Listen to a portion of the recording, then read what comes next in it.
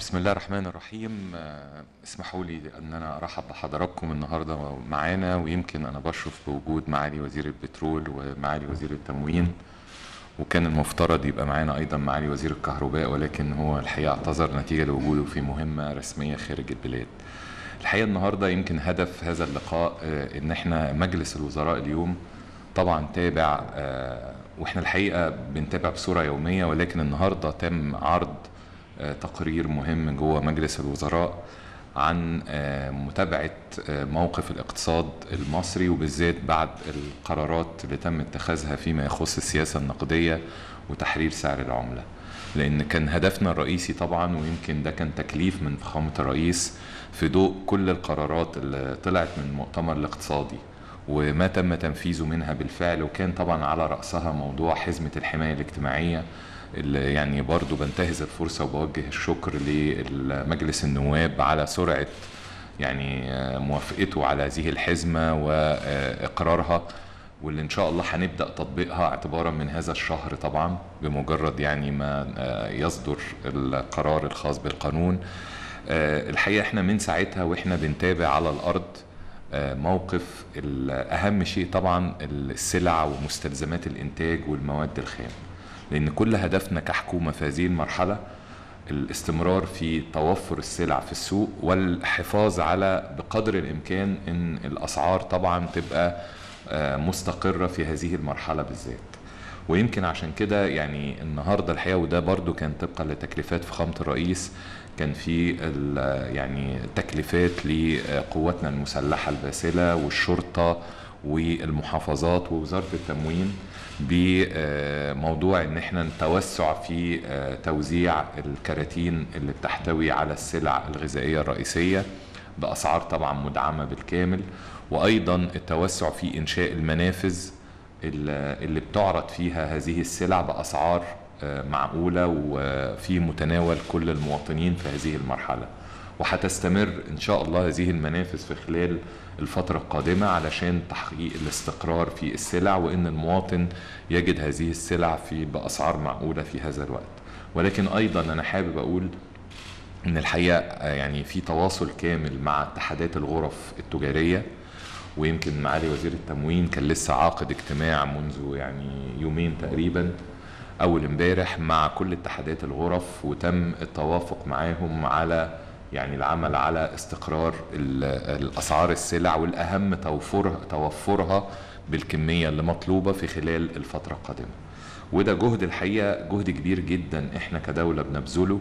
والحقيقة برضو مع قرارات آه، السيد محافظ البنك المركزي بدأ بالفعل انفراجة جيدة جدا في آه، الخروج المواد الخام ومستلزمات الإنتاج وبدأت فعلا كل ال- رجال الصناعة بيقولوا إن فعلا ابتدى هذا الموضوع يعني يتحرك منذ اتخاذ القرارات آه، كانت يوم الخميس لما خدنا إجراءات تحرير السلع.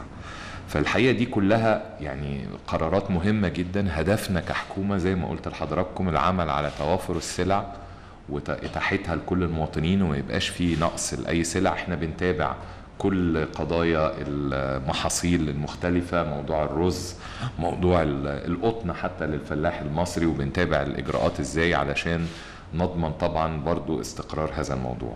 ولكن يمكن اسمحوا لي انت حضراتكم لما أعلنا عن حزمة الحماية الاجتماعية وكان إجماليها زي ما حضراتكم عارفين تقترب من 67 مليار جنيه واللي قلناها كلها اللي هي هتبقى على مدار العام.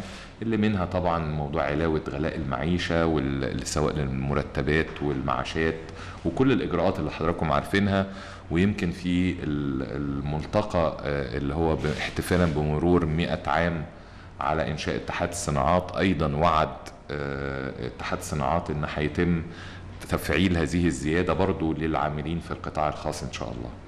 فبالتالي الدولة المصرية يعني عملت جهد هائل وعملت هذه الحزمة اللي كلفتها 67 مليار جنيه. ولكن واحدة من كان- كانت القرارات دي واللي أنا حابب إن أنا أعرضها عشان المواطن المصري يعرف وحضراتكم تعرفوا الدولة المصرية متحملة إيه. كان جزء واحد من قرارات حزمة الحماية الاجتماعية اللي, طلق اللي وجه بيها سيادة الرئيس إن إحنا ما نزودش أسعار الكهرباء والمرافق الرئيسية في هذه المرحلة. وبناء عليه تم التوافق إن إحنا مش هنزود على مدار العام المالي ده. كنا واقفين لغاية 30 12 للكهرباء لكن قررنا إن إحنا نمدها لغاية 30 6 القادم. يعني معنى كده سنة كاملة مش هيحصل فيها زيادة. أنا عايز بس أرجع أقول لحضراتكم الرقم لأن ده السيد وزير الكهرباء كان المفروض يعرضه لحضراتكم ولكن أنا هعرضه بالنيابة عنه. وقت ما اتعمل خطة إعادة هيكلة لتسعير الكهرباء على مدار خمس سنوات وأعلنها السيد وزير الكهرباء في 30 6 2020 كان في مؤتمر. 9 6 أنا آسف 9 6 2020 أعلن هذا هذه الخطة. كان حاطط هذه الخطة على أساس سعر صرف متوسطه 16 جنيه للدولار لأن طبعا تسعير الكهرباء مرتبط بالغاز اللي هو بياخده من وزارة البترول وأيضا بتسعير آه، يعني عالمي هو معروف فكان التسعير إن المفروض إن الكهرباء معمولة على أساس الدولار ب 16 جنيه. وقال الطبيعي والمنطقي لو السعر الصرف اتغير هتتغير الأسعار. فعليا إحنا النهارده خدنا قرار بعدم زيادة هذه الأسعار بالكامل على المواطن المصري لمدة سنة. طب الخطة ببساطة شديدة كانت محسوبة على 16 جنيه. النهارده طبعا سعر الدولار آه، يعني حضراتكم متابعين معانا وحصلت فيه زيادة. الرقم فعليا نتيجة لهذه الزيادة وعدم تحميلها وعدم تطبيق الزيادة الأصلية اللي كانت هتزيد لو كان الدولار فضل ب 16 جنيه الاتنين مع بعض الدعم اللي هتتحمله الدولة في قطاع الكهرباء فقط في سنة واحدة بنتكلم في 43 مليار جنيه. يعني إحنا هنشيل كقطاع كهرباء عن المواطنين بسبب تثبيت الأسعار وعدم تطبيق الخطة وعدم تحميل الخطة زيادة فرق سعر الدولار هنتكلم في 43 مليار جنيه أخرى غير ال 67 اللي إحنا اتكلمنا عليها.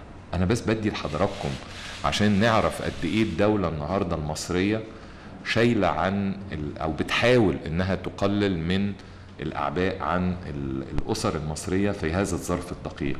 لأن كل همنا زي ما بقول لحضراتكم إحنا نعي تماما يعني الظروف الاقتصادية اللي بتمر بيها الأسر المصرية وبنحاول بقدر الإمكان إحنا كحكومة في إدار قدراتنا المالية والموازنة بتاعتنا.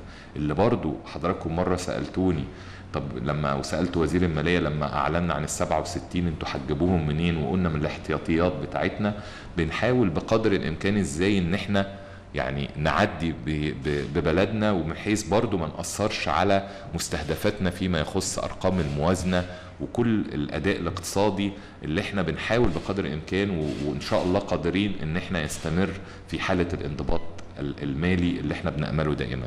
لكن أنا حبيت بس أقول رقم الكهرباء عشان كلنا نبقى عارفينه قد إيه. أنا هدي لحضراتكم بس لو تأذنوا لي معالي وزير البترول برضو هيكلمنا عن النهارده أنبوبة البوتاجاز مع الزيادات دي بقت قيمتها وكلفتها قد إيه على الدولة والنهارده الدولة شايلة قد إيه. فهسيب لحضرته هذا الكلام وبرضه هترك المجال لمعالي وزير التموين برضه عشان يعرف المواطن تكلفة رغيف الخبز النهاردة مع الزيادة اللي حصلت وتحرك السعر القمح زاد أسعاره. وحضراتكم عارفين وتابعتوا لكن كمان مع تغيير سعر الصرف بقت كلفة الرغيف على الدولة النهاردة قد إيه؟ اللي ما زلنا الحمد لله برضو إحنا متحملينها عن المواطن المصري. فبعد إذنكم أترك الفرصة لمعالي وزير البترول حضرتك تتكلم. شكرا دولة الرئيس. واستكمالا آه، لما قاله دولة الرئيس فيما يخص ال- المحروقات والكميات ال- التي يتم تداولها وتوفيرها الحقيقة إحنا كقطاع بترول آه، يعني دورنا الرئيسي هو إن إحنا نؤمن آه، احتياجات السوق والمواطن والدولة والصناعة آه، لكل احتياجاتها من المواد البترولية سواء كانت اسطوانة البوتاجاز سواء كان بنزين سواء كان سولار أو مازوت وكل ما هو محتاج لحركة التجارة والنقل وبالتالي آه، دي المستهدفات الأولى بتاعتنا وده اللي حاصل في الوقت الحالي وموجود عندنا آه، من سنوات خطة كويسة. وهذه الخطة ليست فقط لتأمين الإنتاج آه، وتوفيره محليا بل أيضا لزيادة التصنيع المحلي من المنتجات البترولية زي البنزين والسولار بحيث أنه إحنا النهاردة آه، كنا بنستورد مثلا في حدود 40% و50% في بعض الأوقات لمنتجات زي السولار. النهارده إحنا آه، بن يعني بتتراوح ال- الاستيراد ل 25 30% بالكتير والبنزين في حدود 20% آه، فاحنا النهارده آه، ده من خلال إجراءات مهمة قوي بتتم فيها كمشروعات قومية لزيادة الجزء التصنيع المحلي. لما نتكلم على أسطوانة البوتاجاز النهارده إحنا لو قلنا ادينا رقم للاستهلاك اليومي. إحنا بنستهلك النهارده حوالي 800 ألف اسطوانة بوتاجاز في اليوم والرقم ده كان أكتر من مليون اسطوانة. فنزل من مليون اسطوانة ل 800 ألف ده نتيجة التوسع في توصيل الغاز الطبيعي للمنازل ويمكن آه، بالمبادرة الرئاسية كمان داخلين في حياة كريمة فحتى القرى كلها يتم توصيل فيها الغاز الطبيعي في خلال الخطة القليلة والسنوات القليلة القادمة. ومن هنا بنقول إنه اسطوانة البوتاجاز دي إحنا كنا بنست- بنستورد 50% من الكميات بتاعتها وإحنا النهارده يعني كأن بنقول من ال 800 ألف اسطوانة اللي بيتم استهلاكهم في اليوم 50% منهم يعتبر آه، بوتاجاز مستورد. النهارده إحنا بنبيع هذه الاسطوانة ب 75 جنيه ده السعر بتاعها الرسمي في السوق المحلي وبتكلفنا أكثر من 190 جنيه. مع ال- التطورات الأخيرة في سعر الصرف بتتجاوز ال 220 جنيه كمان. فإحنا النهارده لما بنتكلم على أسطوانة آه، وسلعة رئيسية زي أسطوانة البوتاجاز اللي لازم تكون متوفرة في كل بيت وفي كل المحافظات مع أهالينا اللي ما عندهمش غاز طبيعي فإحنا بنأمن آه، هذه الاحتياجات من خلال الاستيراد. هل تم زيادة هذه الأسعار؟ آه، طبعا لا. إحنا يعني مثبتين سعر الاسطوانه بقالنا فترة وبنأكد إنها تكون متوفرة على طول في كل المستودعات وفي كل المراكز. والحقيقة إن إحنا نقدر نقول إنه الرقم ده بيكلفنا دعم أكتر من 90 مليون جنيه في اليوم. 90 جنيه في مليون 90 مليون جنيه في اليوم الواحد يعني ده هيخلينا نوصل لأكتر من 36 مليون مليار جنيه في السنة. آه، ده بس في بند. ده طبعا إحنا كدولة آه، وطبقا وطبقا يعني آه، استراتيجية الحكومة وتكليفات فخامة الرئيس بأنه آه، لا نمس هذه السلع والمواطنين وبالذات في هذا الوقت ال- ال- ال- المهم يعني. لما ننتقل إلى باقي المنتجات زي ما كنت بقول النهارده إحنا عندنا آلية اسمها التسعير التلقائي وطبعا التسعير التلقائي دي إحنا ابتديناها في يونيو في يوليو 2019 كل ثلاث أشهر بتراجع أسعار المحروقات البنزين والسولار. النهارده وفقا للأسعار العالمية اللي أنتم شايفينها آه، من أسعار آه، خام البترول وخام برنت اللي هي يعني ما بين 90 و100 دولار وكذلك مع تغير سعر الصرف إحنا النهارده وفقا وآلية التسعير التلقائي كان المفروض إنه يتم زيادة أسعار البنزين والسولار آه، في حدود ال 10% وده ال- الآلية بتتيح الوصول لهذا الحد من الزيادة ولكن برضو ارتؤي إنه لا يتم زيادة الأسعار تأكيدا على آه، آه، مراعاة البعد آه، الاقتصادي والاجتماعي في هذه ال- الفترة وفي نفس الوقت التو- التوافر المنتج وبالتالي هذا الربع من العام تم تثبيت سعر البنزين والسولار. الحقيقة إنه ده طبعا بيكلف دعم يومي ودعم ودعم شهري ودعم ودعم هيكلفنا في على مدار الفترة اللي هي الربع ولكن في اعتبارات أخرى يمكن زي ما دولة الرئيس قال وطبعا في برامج وحوافز تم صرفها لكن الأهم وهي الخطة الأهم وهو تأمين الوقود في كل آه، أوقات وعلى مستوى الجمهورية. شكرا. اتفضل يا دولة الرئيس. معالي وزير التموين. شكرا يا فندم.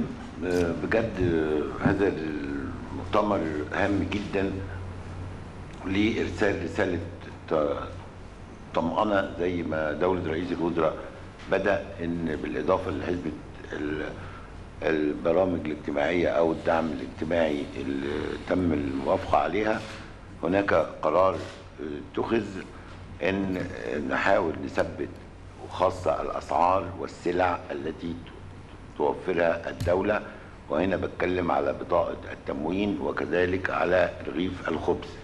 إن لا تغيير في أي سعر من هذه السلع خلال الفترة دي لغاية وقلت أنا قبل كده لغاية آخر ديسمبر آه، هذا العام. هذا الموضوع هو قرار مهم جدا عشان مراعاة تأثير الأزمة العالمية اللي حضراتكم كلنا عارفينها وعايشينها والعالم كله عايشها وما أدت إليه إلى ارتفاع أسعار في كل الأساسيات بالإضافة إلى أهمية ما وجه به دولة رئيس الوزراء في استمرار كافة المصانع وكافة المتاجر وكافة الأمور بحيث إتاحة إتاحة وعرض السلعة بكمية كافية. وده مهم. وده آه، اللي بيتم التنسيق فيه مع اتحاد الصناعة ومع الغرف التجارية. والحق يقال زي ما بنقول دلوقتي أهو قلنا هنتعاون مع بعض جميعا ونتحمل الأعباء التي ظهرت نتيجة الأزمات العالمية وكذلك نتيجة تحرير الدولار إلى نهاية ديسمبر بحيث أن كلنا هنتعاون للمحافظة على زيادة المعروض بالإضافة إلى المحافظة على الأسعار. هذا الموضوع وإن شاء الله زي ما دولة رئيس الوزراء تفضل وقال فعلا بنتابعه يوميا وبيجيلي تقرير يومي وبتابع مع دولة رئيس الوزراء ومع البنك المركزي لزيادة معدل الإفراج عن الخامات اللازمة لاستمرار العملية الإنتاجية ومهم جدا عشان نحافظ على الأسعار لابد المعروض من السلع يكون كافي بدرجة. هذا الموضوع فقط في موضوع العيش حضراتكم عارفين إن إحنا بنستهلك حوالي 8.5 مليون طن قمح رويتر بقى اكتب اكتب اكتب انت بتكتب وانت عارف. تمانية ونص مليون طن قمح منهم أربعة الحمد لله خدناهم محلي وأربعة ونص آه، مستورد. المحلي عارفين إن إحنا زودنا السعر عن ما كان عليه أثناء الموسم وبعد اعتماد الموازنة. باكثر من 125 جنيه. نتيجة كان من 725 وصلنا لاكثر من 885 جنيه للاردب وبالتالي 1000 جنيه في الطن. فدول عملوا حوالي بالتكاليف الشراء 4 مليار إلى 5 مليار وهو حوالي 5 مليار جنيه زيادة في القمح المحلي. عما كان محدد في الموازنة. ارتفاع الأسعار نتيجة الأزمة الروسية الحرب الروسية الأوكرانية وكذلك ال- الأزمات العالمية واللوجستيات وارتفاع النقل والتأمين وكده المتوسط اللي كان محسوب لطن القمح بالدولار في الموازنة اللي إحنا شغالين فيها دلوقتي 300 دولار للطن. إحنا المتوسط العام اللي وصلنا له في هذه الفترة 418 دولار. يعني الطن زاد 118 دولار. لما نضرب ده في 4.5 مليون طن هنجد إن إحنا قربنا من 5 مليار دولار بمعنى دول يمثلوا حوالي 18 ل 20 مليار جنيه مصري.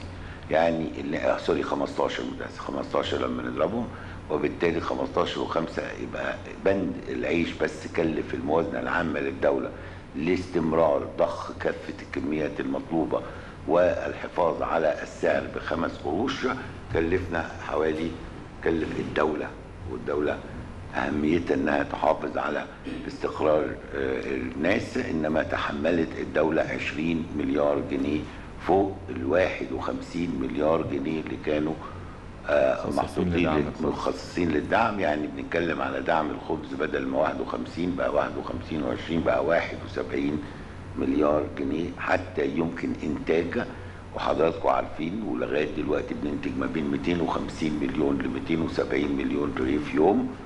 يعني بنتكلم على مستوى السنة والمحاسبة كده ولما تضربوها بننتج 93 مليار رغيف سنة.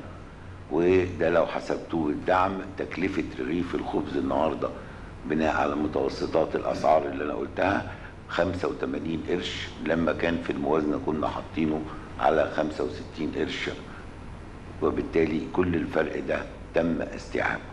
ليس فقط حضراتكم عارفين إن الزيت بالذات في منتهى الخطورة ولا يزال أسعاره مضاعفة عما كان قبل آه، كورونا والأزمة الروسية الأوكرانية. الزيت لغاية النهاردة فوق 1500 دولار للطن وإحنا محافظين على البوينت 8 أو 8 من عشرة اللي إحنا بنديها ب 25 جنيه. تكلفتها على الأقل 32 جنيه. والجميع يعلم ذلك. ومع ذلك بنحاول نحافظ عليها. بالإضافة للسكر. السكر عالميا ابتدى يرتفع. ولكن برضو التوجيه لازلنا نحافظ على كيلو السكر في التموين ب 10 جنيه ونص. أقل سعر بره التموين حوالي 14 جنيه. لازلنا كذلك نحافظ على أسعار المكرونة والدولة لأول مرة وزارة التموين تدخل إنها تمد مصانع المكرونة بكافة الكميات القمح اللازمة لها أو الدقيق ال 72 اللازمة لها بأسعار التكلفة بتاعتنا حتى نحافظ على إنتاج المكرونة في وتباع في الأسواق بنفس الأسعار دون النظر لارتفاع سعر الدولار وكذلك ارتفاع سعر طن القمح الخارجي. هذا ليس فقط تدخلت الوزارة لدعم بعض المخابز ال- السياحية اللي هي بتنتج العيش الفينو وبتنتج العيش السياحي لسبب كان هناك من الشهر الماضي تكدس القمح ولم يكن يفرج عنه لظروف الجميع نعلمها وبالتالي دخلنا إن إحنا نمد هذا والقرار ده اللي خدته هيستمر شهر ينتهي في 11 11 هو كان خدناه 11 10 ولكن إذا كان هناك احتياج همد هذا القرار حتى يكون هناك استقرار حقيقي في المنتجات الغذائية اللازمة. النقطة المهمة جدا اللي نوه بها دولة رئيس الوزراء هي متابعة المستمرة وزيادة المنافذ وكذلك الرقابة الحقيقية على الأسعار. هناك مشكلة فعلا في موضوع الأسعار الناس عايزة السلعة تبقى موجودة في كل الدنيا زي بعض. متأسف يعني مش كده لا ده ماركة ودي ماركة ودي ماركة. ولكن هناك أسعار عادلة. لما نتكلم 14 جنيه السكر عادل. لما نقول ماركات معينة موجودة فيها ب 16 ولا ب 15 ممكن نبقى عادل. إنما لو في أي نوع من حجب السلعة أو بيعها بطريقة غير واضحة والسعر مش مكتوب. هنا اللي يجب أن نتدخل وتعاون المواطن معانا مهم جدا وأعلنا عن الرقم بتاع حماية المستهلك وأعلنا عن الأرقام بتاعة الوزارة وأعلنا عن شكاوى مجلس الوزراء وهي مهمة جدا وبتجيلنا باستمرار ومتصلين معاها. وبالتالي تعاوننا جميعا سواء إحنا كح- كحكومة وكذلك الاتحاد الصناعة واتحادات الغرف وكل المنتجين وكذلك المواطنين أعتقد إن إحنا نقدر. نتحرك ونمشي في هذه الفترة الصعبة. شكرا. شكرا فندم. لو حضراتكم في آه، ناخد سؤالين أو ثلاثة اتفضل. اتفضل.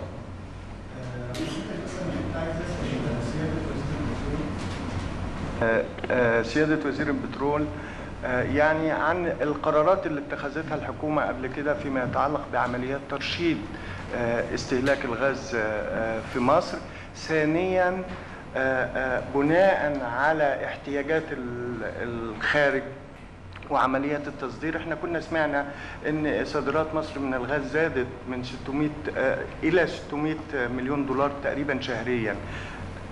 الاثنين التوتال سواء كان الترشيد والزيادة في الصادرات إحنا ممكن نوصل لكام؟ يعني شهريا أو سنويا على الأقل. هو طبعا لازم نعرف إنه موضوع التصدير بالنسبة للغاز مرتبط بحاجتين. الموسمية يعني الكميات مرتبط بالصيف والشتاء. يعني أنا في الصيف الكميات بتاعتي بتقل في التصدير نتيجة استخدامات آه، الأعلى هنا في السوق المحلي. وفي الشتاء بيبقى عندي التصدير بيبقى أعلى ككميات علشان خاطر بيبقى عندي غاز أكتر ما آه، استهلاكه بيقل عندنا فبالتالي نقدر نصدره. الجزء الثاني وهو الأسعار العالمية. هو السعر العالمي هنا آه، متوقف على النشاط العالمية ووفقا والعرض والطلب العالمي. يعني إحنا في الفترة اللي إحنا كنا بنتكلم فيها آه، في شهر 7 8 9 دي كانت الأسعار ارتفعت ارتفاع لم لم يسبق له مثيل في العالم وده كان ساعتها نتيجة إن الاتحاد الأوروبي كان بيملى الخزانات بتاعته. آه، لما ملى الخزانات بتاعته الأسعار ابتدت تقل فعلا. دلوقتي إحنا الأسعار بقت أقل من النص اللي كانت فيه آه، في شهر 7 و8 و9 وبالتالي الحقيقة آه، النهارده لما حضرتك بتتكلم على رقم الرقم ده آه، بيبقى ديناميكي لكن في المتوسط العام نقدر نقول إن إحنا إن شاء الله يمكن نستهدف السنة دي الوصول ل 10 مليار دولار صادرات إجمالي عام يعني متوسط ما بين الشتاء والصيف في- الحدود دي بإذن الله. ويمكن عايز أكد لحضرتك إن في إطار الخطة اللي حصلت بالتنسيق ما بين وزارة الكهرباء ووزارة البترول في موضوع آه، التناغم ما بينهم وبين بعض لأن طبعا الجزء الأكبر من استهلاكنا من الغاز بيروح لمحطات توليد الكهرباء. ففي إطار خطة ترشيد الكهرباء بالفعل يمكن كان ده عرضه معالي وزير الكهرباء نجحنا من خلال الوصول إلى الطاقة القصوى لتشغيل محطات سيمنز إن بقى في وفر في حدود نقدر نقول 15% بقى موجود النهارده كرقم طبعا الرقم ده بيتغير ما بين يوم والتاني. ولكن فعليا كمتوسطات ده يعتبر الرقم اللي قدرنا إن إحنا نحققه واللي إحنا بنحاول بقدر الإمكان على طول يترجم إلى تصدير علشان نقدر نستفيد من مواردنا في توفير عملة صعبة. حضرتك هو عام خلينا- مالي ولا عام إحنا بنتكلم على عام على بعضه يعني هو العام نفسه على بعضه هو ده الرقم بتاعنا. لأن إحنا بنتكلم على 12 شهر هو ده الرقم. معالي دولة رئيس مجلس الوزراء يعني إحنا عارفين الدولة المصرية بتتحرك في محاور عديدة بالنسبة لتوفير السلع الغذائية سواء من الخارج أو من الداخل وكذلك عملية ضبط الأسواق عن طريق الحملات اللي هي بتقوم بها الدولة المصرية. كان في قرار لحضرتك والمواطنين شكروا حضرتك عليه هو وجود أسعار استرشادية بالنسبة للخبز السياحي والأرز. هل ممكن ورد أن تكون هناك قرارات أخرى لسلع أخرى وخاصة في وقت الأزمات العالمية؟ والله إحنا بنتدخل بهذا الموضوع ويمكن كان أحد الأمثلة كان موضوع الرز لما طلعنا السعر الخاص بالسائب وال- والمعبأ. وبنحاول بقدر الإمكان نعمل هذا الموضوع. ولازم ناخد بالنا إحنا بنتكلم على سوق حر وبالتالي دور الدولة في التدخل لازم يبقى يعني أنا آسف أقول بميزان من ذهب. لأن أحيانا لما بيبقى في نوع من ال... مش عايز أقول الزيادة في التدخل أو التعسف في التدخل ممكن يؤدي إلى اختفاء السلعة نفسها. وإحنا مش عايزين نعمل هذا الموضوع بالتأكيد فبيبقى تدخلنا تدخل محسوب جدا بهدف إن أهم حاجة بالنسبة لي توف- توفر السلع المواطن يبقى دايما السلعة موجودة ويبقى بالتوافق الرضائي وبرضه بتدخل محسوب من جهات ال- الرقابة من الدولة يبقى في نوع من التعامل والحوكمة مع التجار والكلام ده كله. زي ما كان معالي وزير التموين بيقول بتفعيل أكبر لدور جهاز حماية المستهلك في هذه المرحلة. وهنا يمكن أنا عايز أوجه المواطنين لأن أنا حضراتكم عارفين أنا ببقى أحيانا بتحرك في في الشوارع والناس وقابل الناس فبيبقى ناس تشتكي لي. فبقول لهم يا جماعة خلينا مع بعض إيجابيين. التاجر بيقول لي أنا ببقى موجود في منطقة بلاقي والله ال- محل ال- البقالة ده أو اللي بي- بي- بيبيع السلع بيبيع بسلعة بسعر وألاقي واحد تاني في آخر الشارع بي بي بيغالي في الأسعار. فبقول هنا دورنا يا جماعة الحكومة مش هتقدر تبقى رقيب على مئات الآلاف من المحلات. لكن المواطن هنا ليه دور كبير جدا إنه لو لقى هذا ال ال ال ال النسق اللي هو غير يعني غير جيد يبلغ على طول على هذا المحل. يقول والله إحنا في المنطقة الفلانية في المحل الفلاني والرقم الراجل ده هنا بي بيتاجر بصورة يعني غير سليمة بالأسعار وبيبالغ في الأسعار. وإحنا دورنا بقى إن إحنا بنتحرك ونتعامل مع هذه الحالة. لكن ده دور مهم إن في هذه المرحلة إن إحنا نبلغ عن اللي يقدر إن هو نقدر نقول عليه إنه بيمارس ممارسات غير سليمة في موضوع المبالغة في الأسعار. آخر سؤال بقى فندم اتفضل. شكرا فندم. آه، حضرتك كنت أشرت لوجود انفراج في في الانفراج في الإفراج عن مستلزمات الإنتاج. آه، حضرتك توقعك لتأثير ده أيضا على السوق؟ آه، يعني يحصل نوع من الاستقرار أو التراجع في الأسعار في الفترة المقبلة. الحاجة الثانية يا فندم ال- بالنسبة لل ال- ال- القرارات اللي هي أنا آسف يا فندم أنا بس تعبت شوية بس. نعم. آسف تعبت بس شوية بس. طيب. اتفضل. اللي أنا بس طيب خليني أقول لحضرتك طبعا إحنا توقعاتنا إن شاء الله مع ال- الإفراج عن هذا الموضوع من شأنه إنه إن شاء الله بإذن الله هيؤدي إلى زيادة إنتاجية السلع وبالتالي لوحده بالرغم من زيادة سعر الصرف هيؤدي إلى مزيد من التوازن والاستقرار في الأسعار ويمكن حتى بالتنسيق مع اتحادات الغرف واتحادات الصناعات آه، بعضهم قال أنتوا من المتوقع انكم تشهدوا كمان في خلال الفترة اللي جاية يمكن بعض الانخفاض في بعض السلع نتيجة لتوفرها بصورة كبيرة وإن عودة الإنتاج من المصانع بكامل طاقتها وليس بصورة جزئية زي ما كان الوضع قبل كده. آخر سؤال بقى من حضراتكم اتفضل. سيادتك أشرت من شوية إلى الاتفاق مع الاتحاد الصناعات في آه على. زياده آه، اتحاد الغرف. على الصناعات حضرتك قلت آه الصناعات والغرف. آه الاثنين مع بعض. آه على رفع رواتب العاملين بالقطاع الخاص يا فندم حضرتك تعلم إن هناك نحو 30 مليون مصري يعملون في القطاع الخاص وينتظرون رفع مرتباتهم أسوة بالعاملين في الجهاز الإداري للدولة وفقا للقرارات اللي سيادتك خدتها فهل طيب. هناك آلية في هذا خلينا نشرحها؟ ودي يمكن قالها سيادة الرئيس ووجه بيها معالي وزارة التخطيط في آه، اللي كان في الاحتفالية بمرور المئة عام على إنشاء اتحاد الصناعات. اللي معني بموضوع هذا ال- الأجور وبالذات في القطاع الخاص هو المجلس القومي للأجور برئاسة السيدة وزيرة التخطيط والتنمية الاقتصادية ولكن بعضوية طبعا يعني عدد من الجهات الحكومية ولكن أيضا عضوية ممثلي القطاع الخاص. وخلينا يمكن ال ال أنا بقول هذه الكلمة من التصريح نفسه اللي قاله رئيس اتحاد الصناعة قال إن إحنا متعهدين إن إحنا نتحرك في هذا الموضوع وإن إحنا إحنا كمان نزود المرتبات بهذا الشأن. لكن إن شاء الله في اجتماع قريب للمجلس القومي للأجور عشان يناقش هذه الجزئية. ولكن خلينا أكد على حاجة مهمة جدا. الموضوع ليس إجبار لأن زي ما بنقول بتبقى أحيانا ظروف كل مصنع وكل صناعة مرتبطة بظروف معينة. فأنا ما أقدرش النهارده أجبر أصحاب الأعمال يعني أنا آسف أقول كلمة قصرا على إن هم يزودوا. لأن بيبقى عنده هو اقتصاديات معينة ولكن التوجه العام واللي إحنا بندعمه ونشجعه كدولة إن القطاع الخاص أيضا يقوم بهذه الزيادات علشان يبقى كل المواطنين يستفادوا. لكن توقيتها وملائمتها والقيمة نفسها برضو دي بتترك للقطاع الخاص ولا الصناعه عشان يحدد هذا الموضوع طبقا لظروفه. إنما إحنا بنحاول دايما في اجتماع المجلس القومي للأجور إن إحنا ندعم التوجه علشان برضو ننحاز لصالح الع- العمال البسطاء في القطاع الخاص ولكن طبعا التوقيت نفسه بتاع التطبيق يعني إحنا خدنا القرار النهارده بتاع الحكومة بالتطبيق الفوري إحنا قلنا هنبدأ من نوفمبر. زي ما خدنا قرار ودخلنا للبرلمان البرلمان وافق فهنبدأ فورا إن شاء الله مرتب شهر نوفمبر اللي بيتصرف قبل آخر الشهر هيبقى بيتطبق عليه زيادة. لكن بالنسبة للقطاع الخاص ممكن يبقى يقول لك أنا موافق بس يعني اديني فرصة شهرين ثلاثة أربعة. ممكن ده يبقى طبقا لكل قطاع أنا ما أقدرش أفرض عليه لكن اللي بيحصل بنتوافق مع بعض على خطة وبنتحرك بيها.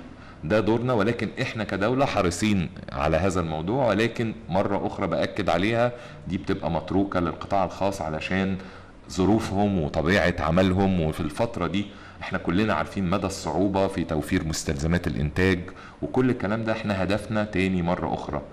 أهم شيء بالنسبة لي كحكومة في هذه المرحلة الحفاظ على استقرار السلع وتوفرها بالصورة الكافية علشان المواطن يجد هذه السلع وما يبقاش فيه أي نوع من التزاحم ولا التكالب عليها لأن التزاحم على طول بي- بيدي الفرصة للمضاربة.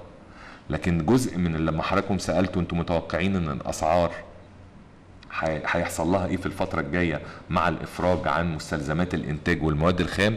أنا قلت لحضرتك وكان ده ردي. إن كل ما هتبدأ الم- المصانع تعود إلى الحد الأقصى للإنتاج معناها وفرة في العرض.